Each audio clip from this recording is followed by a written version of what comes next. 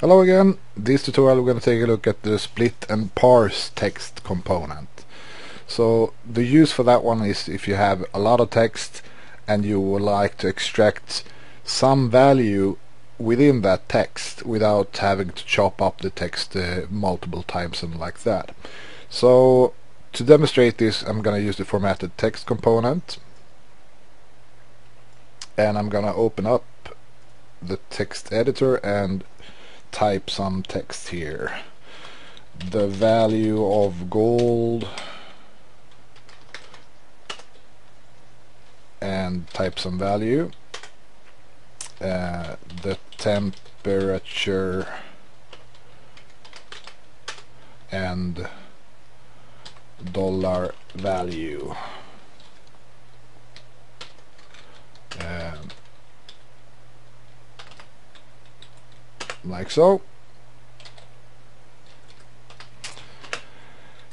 And um, if I send that text into the the parse text component I have a couple of ways to extract that. Uh, personally I used mostly I use the text uh, outputs. So I'm gonna add three of those. I'm gonna take four of them. Okay and I input this text and I'm gonna output it somehow.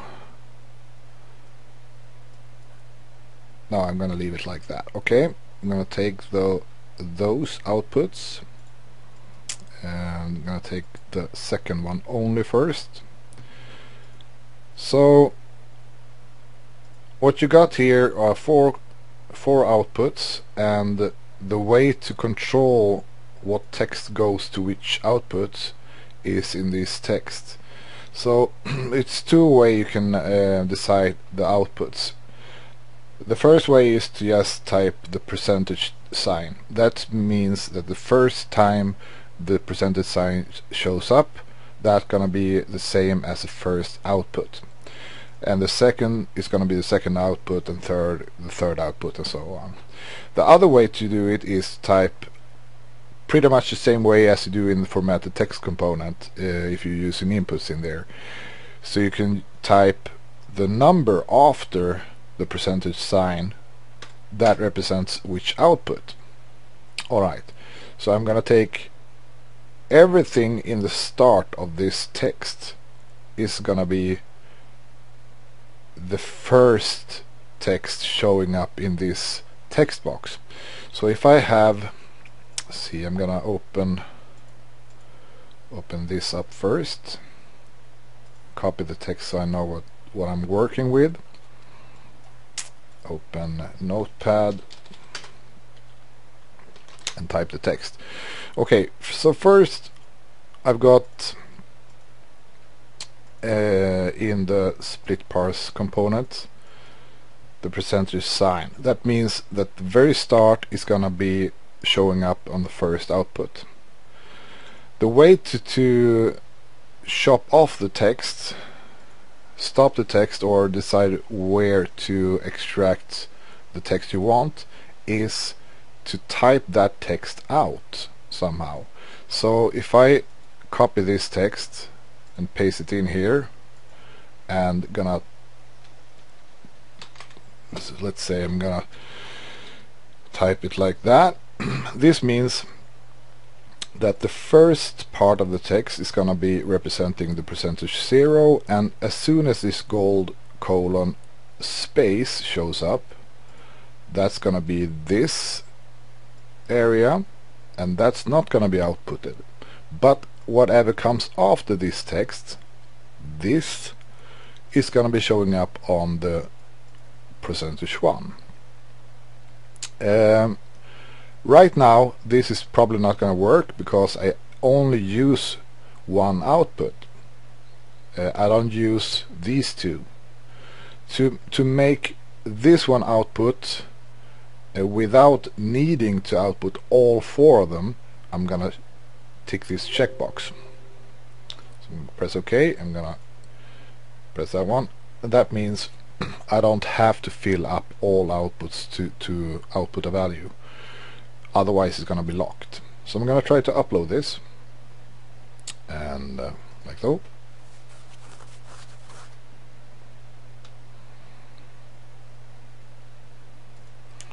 I'm gonna show the serial terminal first off. And like so. Okay it's outputting all the time. I'm gonna disconnect so I show what, what's coming out. Alright so now it shows this is the output. This. So on the second output that means the percentage 1 percentage 0 is the first one percentage 1 is everything after gold space is gonna be outputted. You see here one two three one two three and then the next row and the row after that and so on. So if I only would like the one two three I need to type the text that comes after that. That means the temperature or the or whatever. So I'm gonna take that that text and set it in here. And space. Sorry new row. And press OK so what happens now I, I'm gonna test it I don't think it's gonna output anything but I'm not sure because I still don't have percentage after that text. So I'm gonna show what happens. Oh, okay. It works. Okay. Uh, if it wouldn't work that means that you have to ignore the end. That should mean that it ignores whatever after the the value you you uh, you have lost in this box. So okay.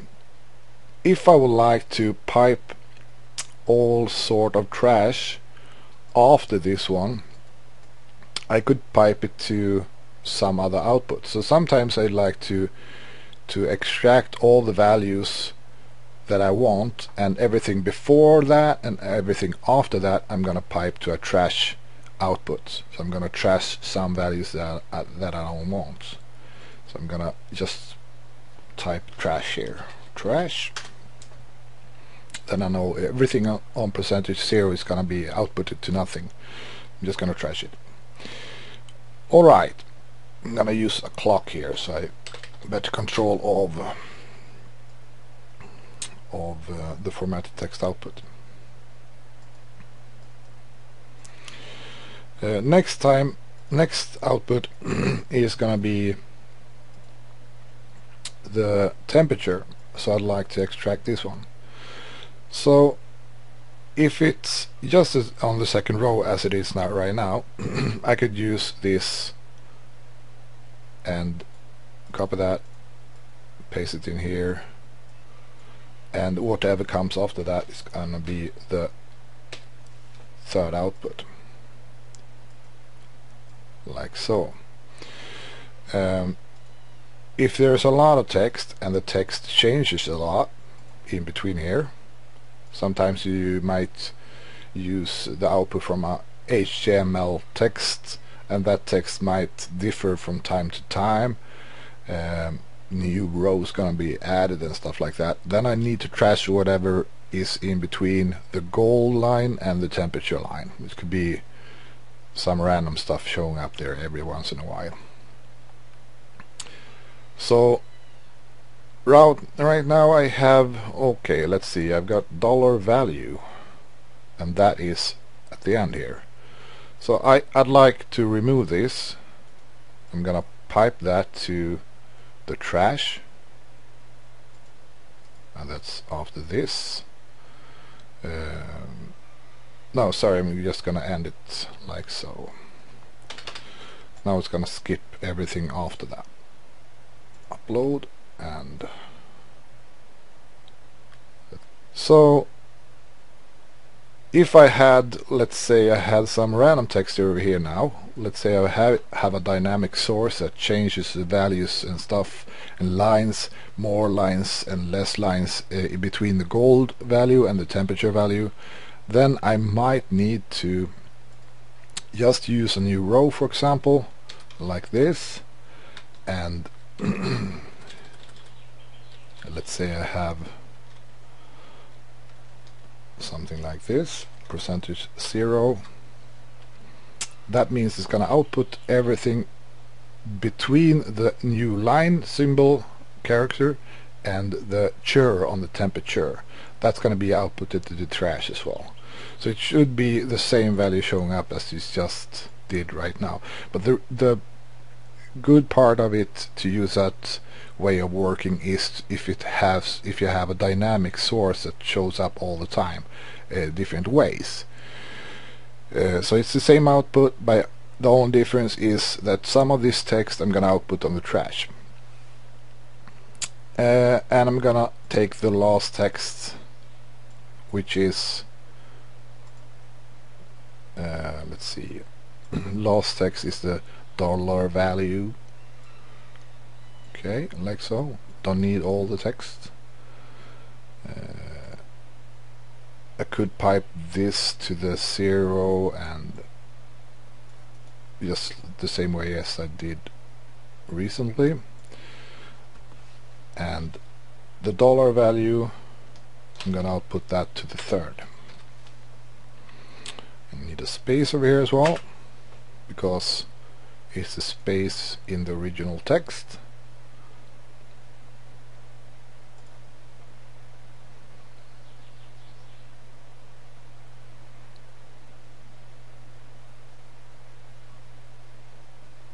Okay I got all the three values. So if I'd like to make some kind of better looking uh, output. I could use the format the text again. Elements.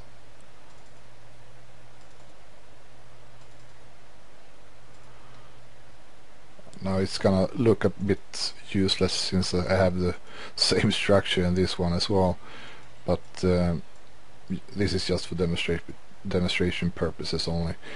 Uh, the second one over there third one and the last one.